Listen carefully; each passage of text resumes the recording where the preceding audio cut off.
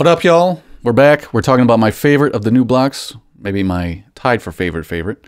Uh, this is the Shift Sequencer. It's so good, I had to crack another good beer. New Holland's Hoptronics. It's a double IPA. These guys are obviously known for their Dragon's Milk, which is a crazy bourbon barrel aged imperial stout. So it's good to see they do the hoppy stuff good too. Uh, so yeah, let's get into why this is so cool. After it, I should take a drink. Sometimes I'm forgetful. What is so great about this? It's so good for doing kind of polyrhythms and unique variations on a sequenced line. So if you're doing bass lines, maybe you're doing techno like this, very Detroity, since movement was just last weekend. Uh, I threw in the Motor Impact Directions kit. We got a nice beat going, and we're going to play along, and we're going to load up Reaktor blocks. You don't have to start from scratch. What we're going to do is kind of get in here and use this shift run, which is a great, a great one. And this one called Bad Math, I highly suggest. What's it sound like?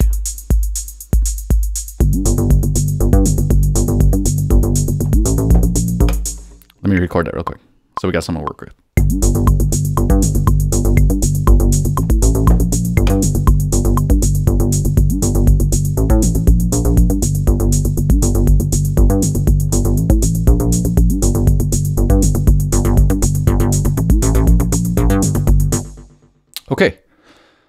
What are we used to working with first? Let's look at steps. This is an ensemble using the Bento Box 8 steps. This was what we had to work with before. It's kind of a similar block to what we're going to look at, but I don't like sequencing by like letters.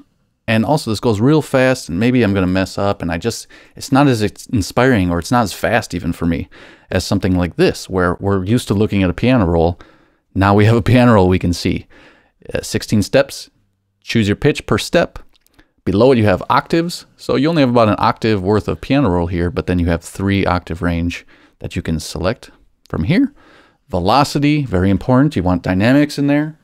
So you want this thing to actually be like kind of lively.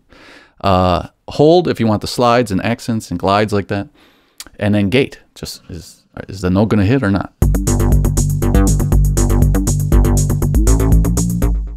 So right away, it's it's for me, it's faster and it does everything I need it to do. You'll notice that these can go in the same directions like we were used to on the other sequencers. You just kind of hold up, it can randomly hit it. Uh, it can go forward, it can go backwards, it can go forward and backwards, bounce it back and forth. And what's important about this is when I go to range here, this is where you see the difference. You can select how far you want the sequence to travel on all these different tracks, if you will. So we have three, three, three, three, and then we have eight.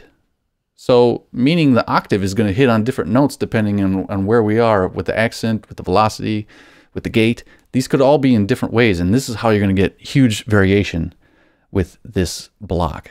I absolutely love it for that. What I'm going to do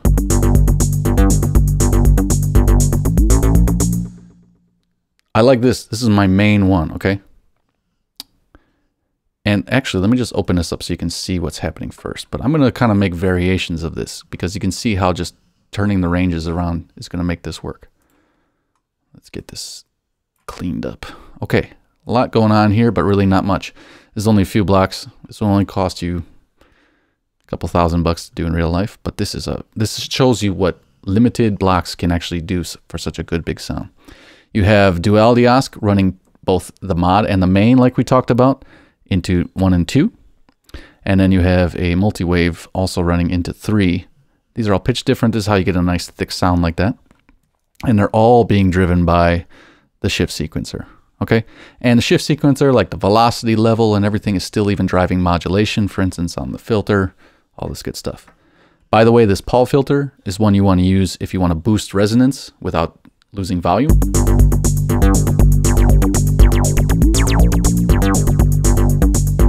That's why it's more special than some of the other ones. You do that with Monark filter, you're going to lose everything. Okay, so what do I want to talk about here? Uh, let's do variations of this, okay? Let me turn edit off. You know how that's wired. What I'm going to do is hold duplicate on Maschine, and if I have this plus event checked, I can just duplicate it over, and immediately, now we're on two, and we've basically copied and pasted that same uh, MIDI data over, and now I have a second instance.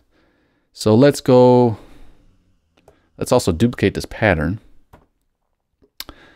And on pattern two, we're going to delete the events off of pad one. And on pattern one, we're going to delete the events off pad two. Why is that? So check it out. We're playing. this is the first one. And then I'll go select two. This is the second one on pattern two. So on pattern two, let's change this up because I like pattern one. I don't want to. I don't want to mess with it. Let's go ahead and uh, change where the octaves run. Now I can stretch this out for like five. Let's try that.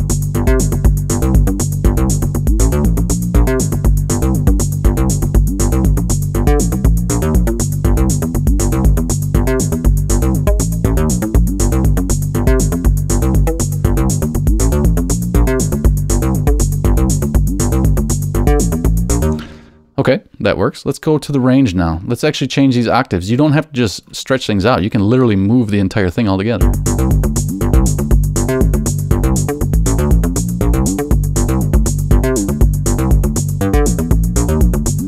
I don't want any glides on this one.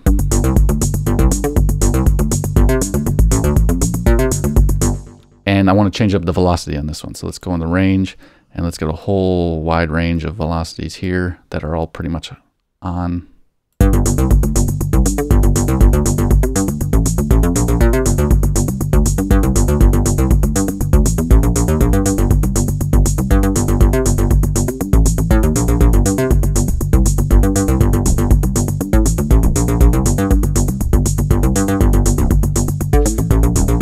Now we can make these go back and forth.